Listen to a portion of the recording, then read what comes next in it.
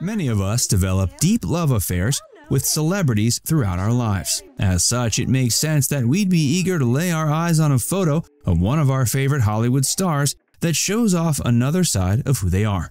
Keep watching to see a collection of photos that does just that. John Wayne never intended to become a Hollywood actor. While John Wayne is best known for his acting, the star was far more interested in sports in his younger years. After completing high school, he attended the University of Southern California, where he enrolled in a pre-law program on a football scholarship. John was an exemplary member of the school's football team. That is, until John suffered a broken collarbone while body surfing.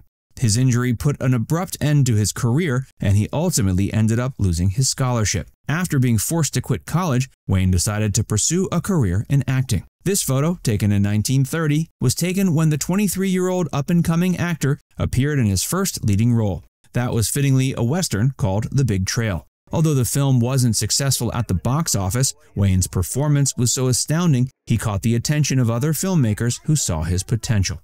Wayne went on to land more and more roles, primarily in westerns. In the end, he became the very personification of the Old West for many movie lovers. Before we tell you more, be sure to give this video a like and subscribe to FactsVerse if you haven't already. Betty White and Rue McClanahan looking perfect on the set of The Golden Girls. These two stars showed the world that, much like fine wine, everything gets better with age. Along with Bea Arthur and Estelle Getty, Betty and Rue starred in the classic sitcom The Golden Girls from 1985 to 92. It was a major hit with audiences and exploded into a full-on cultural phenomenon.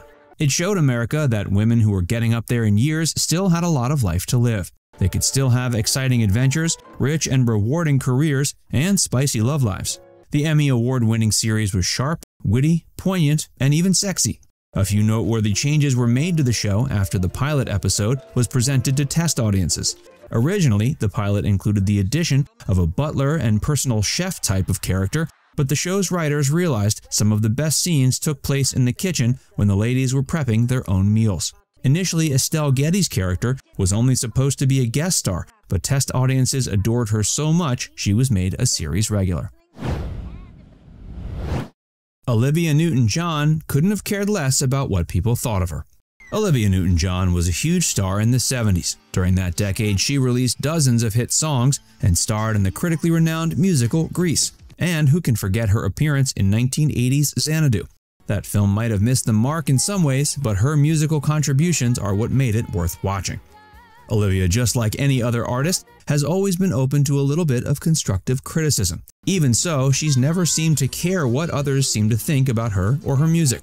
That point was made abundantly clear after Randy Newman referred to her song I Honestly Love You as boring. Newton-John replied to his criticism by saying that Newman's comment merely reflected his personal taste and that she would never sing anything that she hated. I have to like it, Olivia was quoted as saying, before adding that otherwise she wouldn't sing it. This video is brought to you by Raycon. Raycon offers high-quality, affordable earbud options.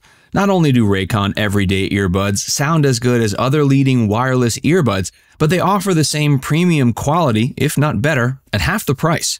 They have optimized gel tips for the perfect in-ear fit.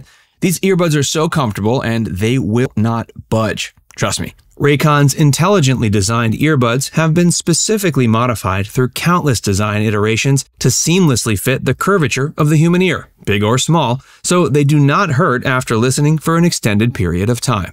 My Raycon earbuds are an everyday necessity for me. I use them when walking my dog and when doing yard work. They are sweat and water resistant and will be fine if you accidentally leave them outside and they get rained on. They offer 8 hours of playtime while blocking out background noise like no other, making it easier for me to focus on my work, hobbies, and fitness. Every pair of earbuds comes with 5 pairs of silicone gel tips, a charging case for on-the-go charging, and a charging cable cord. Click the link in the description box or go to buyraycon.com slash factsverse to get 15% off your Raycon purchase. Jack Nicholson was terrified of Michelle Phillips' ex. When Nicholson was dating Michelle Phillips of the folk group The Mamas and the Papas, he was reportedly scared of her ex-boyfriend Dennis Hopper. Nicholson was very into Phillips. In fact, it's clear in photos taken around that time like this one that he adored her. But he wasn't going to take any chances. Knowing that Hopper had a reputation for being a bit of a loose cannon, Nicholson apparently slept with a hammer under his pillow just in case. George Lucas had a difficult time getting Star Wars featured in theaters. In this photo taken at the Leicester Square Theatre in London, we can see that people were lined up around the block to get a chance to see the groundbreaking space opera. Star Wars quickly became a landslide hit and paved the way for the remainder of the franchise to turn into an IP that's now worth billions. Fascinatingly, however, at the time of the film's original release, Lucas and 20th Century Fox were having an incredibly hard time getting the film into cinemas. Apparently, a lot of theaters didn't want to feature the film because they saw it as a kids' movie. Those same folks must have been blown away when the film took off faster than Han Solo's Millennium Falcon. Naomi, Wynonna, and Ashley Judd kicking it at home, circa 1980. In the early 80s, when this family photograph was snapped, virtually no one had heard of the Judds. While the mother of the family, Naomi, was already an established singer, songwriter, and musician, she didn't make it big until she formed a mother daughter duet with her oldest, Wynonna. Not long after forming that duo, the two Judds signed a contract with RCA Nashville in 1983. For the better part of the next decade, the Judds were one of the hottest acts in country music. They put out hit after hit and rose to the top of the charts while winning five Grammys and nine Country Music Awards. Ashley Judd often tagged along with her older sister and mother on their tours, and most people simply assumed she was the untalented one in the family. In reality, however, Ashley Judd was just waiting for the right time to make her entrance. She went on to become an award winning actress, appearing in films such as Double Jeopardy, High Crimes, and Olympus Has Fallen. John Travolta taught Princess Di a thing or two. In 1985, a handful of stars were invited to attend a White House function to share a dance with Princess Diana. One celeb invited was John Travolta, who had just a few years earlier appeared in the blockbuster hit film Saturday Night Fever. So, naturally, when the band started playing the Saturday Night Fever track You Should Be Dancing, Travolta seized the opportunity and brought the princess out onto the dance floor. He and Princess Di's dance went a bit smoother than Clint Eastwood's, who reportedly was very uncomfortable throughout the entire shindig. Jim Morrison considered the Doors to be politicians.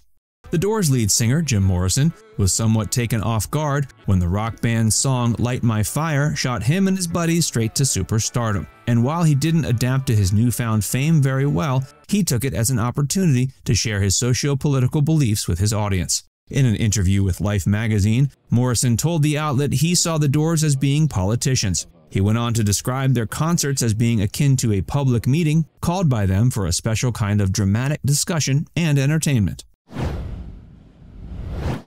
Freddie Prinze, Evel Knievel, Glen Campbell, and Andy Williams used to kick it.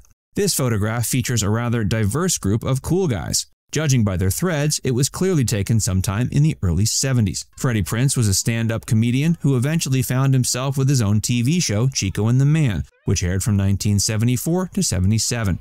Sadly, the show ended after Prinze took his own life. Evel Knievel was one of the 70s most famous stunt performers. In fact, his name is synonymous with feats like jumping over dozens of school buses amidst an explosion of fireworks. Andy Williams was a chart topping singer and songwriter who put out dozens of easy listening pop hits. Glen Campbell was a folk country artist who found some crossover success in the 70s. While each of these men was unique, they left their mark on this incredibly influential era in pop culture. Now it's time to hear from you. Who were your favorite stars of the 1960s and 70s? Let us know in the comment section below. And before you go, make sure you give this video a like and subscribe to FactsVerse if you haven't already. Click the bell icon to stay updated on all our latest content.